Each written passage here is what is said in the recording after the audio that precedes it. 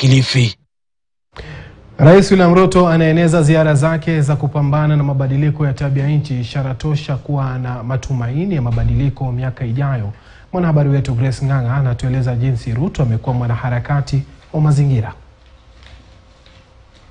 We're going to flag off in Baada ya Rais William Ruto kuhitimu shahada ya uzamifu kutoka chuo kikuu cha Nairobi miaka tano iliyopita, labda ilikuwa chanzo chake cha kutaka kupambana na tabia nchi.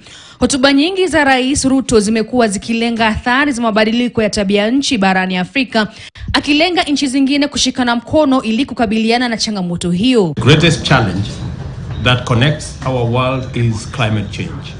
Unfortunately, due to the many pressing concerns, COP27 has not been given the prominence it deserves.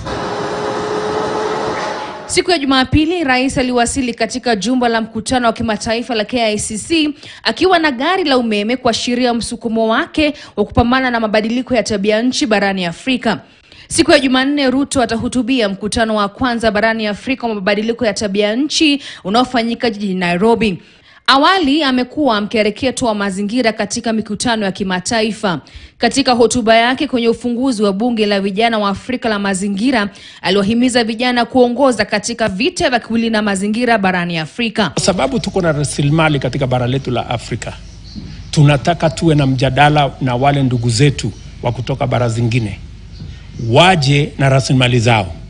Wako na teknolojia, wako na fedha, sisi tuko na rasilimali. Katika sherehe za miaka 48 ya uhuru wa taifa la Comoros, Ruto alisisitiza umuhimu wa kuokoa bara hili kutokana na madhara ya mabadiliko ya tabia nchi, akisisitiza kuwa mamilioni ya wakazi wa bara la Afrika wameendelea kuathiriwa na madhara ya mabadiliko ya tabia nchi, hususan kutoka mataifa ya magharibi.